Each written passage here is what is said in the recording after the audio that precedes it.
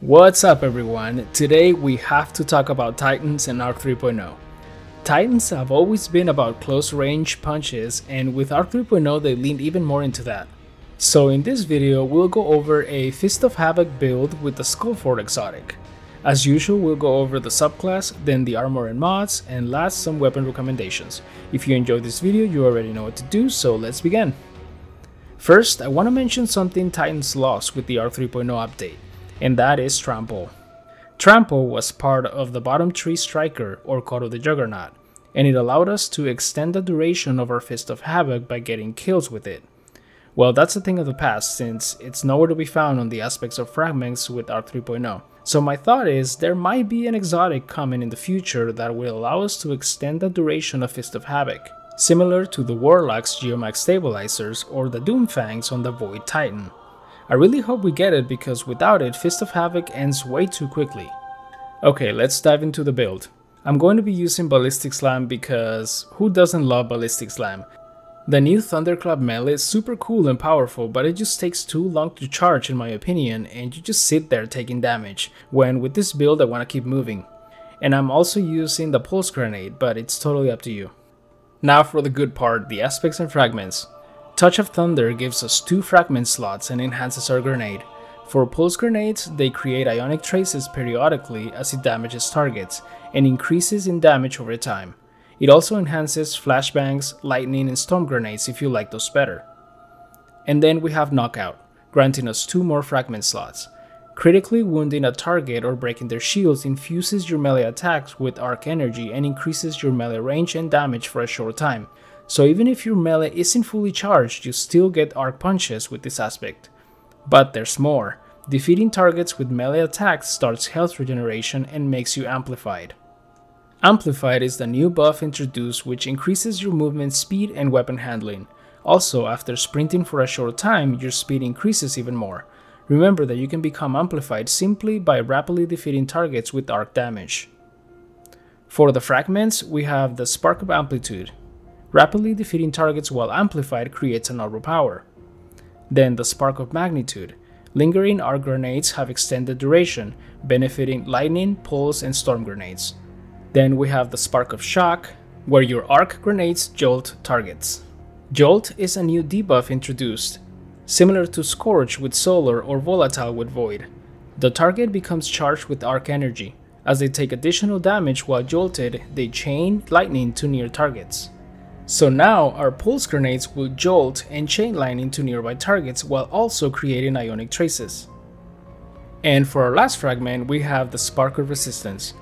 While surrounded, you are more resistant to incoming damage. Fantastic, since we're going in throwing punches.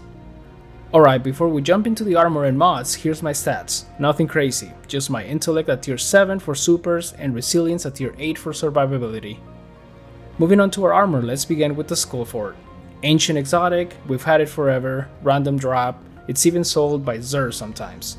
Transfusion Matrix, kills with arc melee abilities trigger health regeneration and restore melee energy. So I went ahead and did some testing comparing this exotic perk with the knockout aspect. For this exotic to proc health regeneration, you need to have your melee fully charged and get a kill. Meanwhile, using the knockout aspect alone, you can start health regeneration by getting a kill with uncharged melee attacks. Plus, this also gives us amplified buff.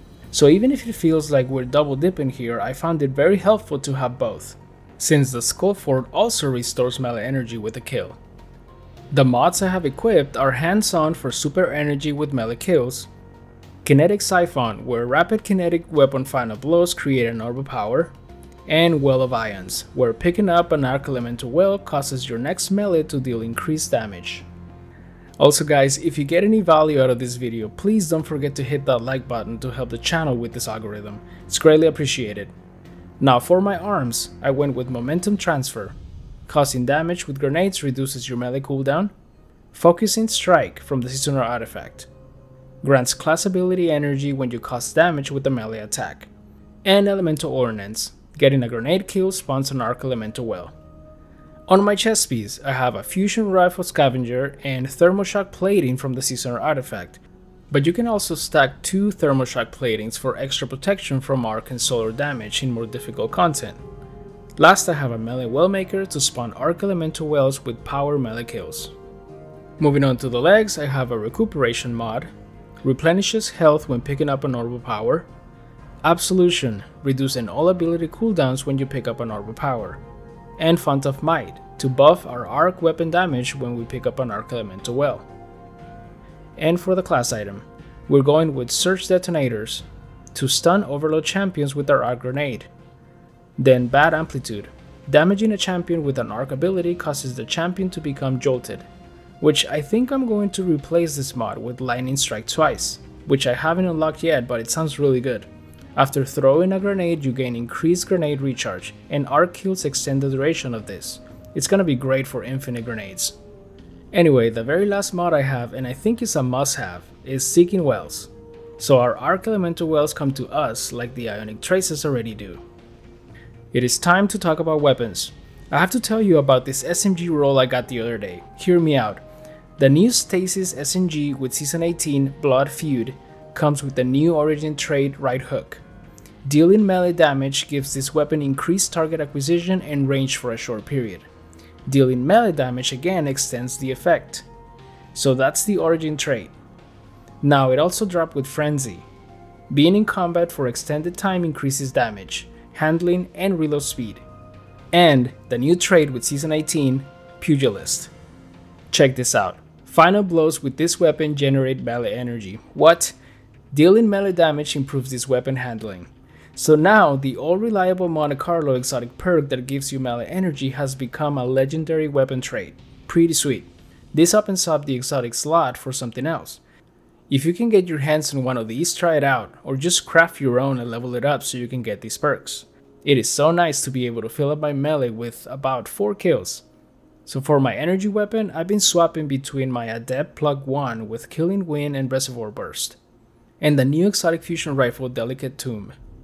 This new exotic is so good, not only does some good damage but jolts enemies and also creates ionic traces, such a good weapon.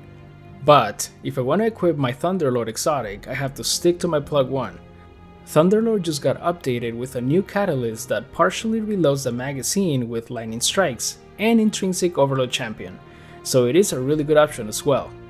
I also love my Storm Chaser linear fusion rifle from the Duality dungeon, with Vorpal weapon and rapid hit, great for bosses.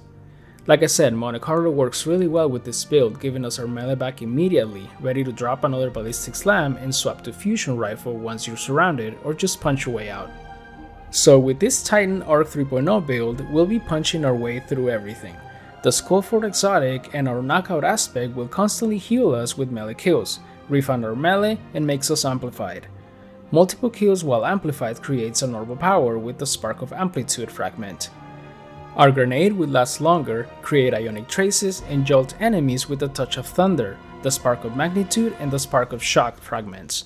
We will also generate arc elemental wells with grenade kills and with melee kills with the melee wellmaker mod and elemental ordnance. All these wells will come to us like ionic traces with the Seeking Wells mod to power up our punching machine. And there you have it guys, Titan Arc 3.0 all about punches with Ballistic Slam. But you can totally do Thunderclap too if you so desire, it worked great. If you enjoyed this video, don't forget to drop a like and subscribe to the channel to help me out with this algorithm. Let me know in the comments if you're applying a version of this build. My goal is to give you an idea and you implement it and adjust it as you like. I want to thank you all so much for watching, all my contact information is down in the description, Discord, merch store, Instagram, all that. Eyes up, my name is Tavius Plays, and if you want to watch other informative Destiny 2 videos, you can click here.